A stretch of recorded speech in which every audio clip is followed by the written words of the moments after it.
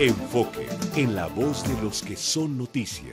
Internos en las cárceles federales del fuero federal que en 10 años no hayan sido sentenciados y estén en la cárcel por delitos no graves van a ser liberados. Adultos mayores de 65 años con enfermedades crónicas van a ser liberados.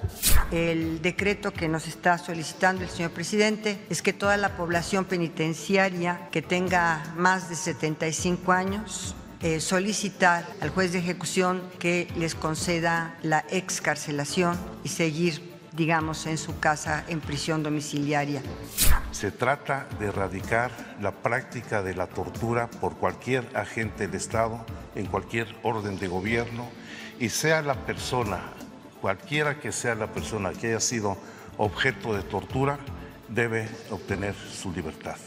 Esta es una de las prácticas más degradantes de la acción del Estado contra la dignidad y los derechos de las personas.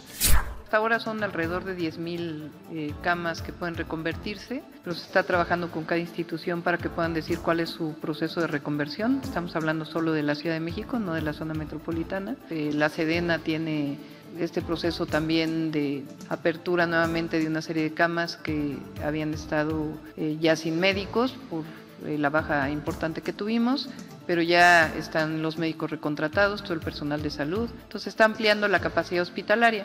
Cada una trae su casco porque se les dio un casco individual, cada una traía todos sus uniformes de entrenamiento, sus uniformes de juego. Oye, pues es sobrepeso y lo tiras en la basura. O sea, yo no sé qué, o sea, ahora sí que me salieron, no sé cómo les llamen a los que andan buscando en la basura, cosas, ¿verdad?